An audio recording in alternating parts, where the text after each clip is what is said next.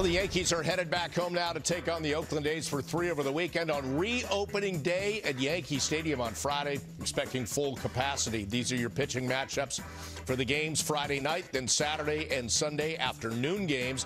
Friday night begins with former Yankee James Kaprielian, who got traded in the Sonny Gray trade, against Jameson Taillon. So, Buck, now you're looking to string together after a nice little stop in Buffalo good weekend against the A's. Yeah, and it's going to be, a, I think, a real electric atmosphere. It's like a lot of things we're seeing around the country, but uh, it's a pass baton time, Jack. It's uh, okay. We've held serve. We've won in different ways from different people and different pieces. Your turn. They had a productive series in Buffalo, but I do think that the scrutiny and the focus now turns to Jameson Taillon.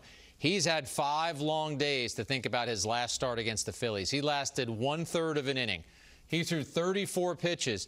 Of those uh, pitches, six were put in play, five hits and a sacrifice fly, 14 were fouled off. So he wasn't fooling anybody that day. David Cone always says a starting pitcher your week can be ruined in five minutes. That's about what happened for Taillon. So as the Yankees are getting this traction and moving in a positive direction, they need Taillon to kind of be one of the guys who guides them on Friday in that electric atmosphere, which should be electric for him mm-hmm. because it'll be the first time he's pitching in front of that kind of crowd at the stadium. It's kind of like we talked about. You look at Toronto as an opportunity to right the ship. And you know, Taillon should be looking at here's an opportunity with a with a big uh, setting that's going to be a little different what we've had, obviously.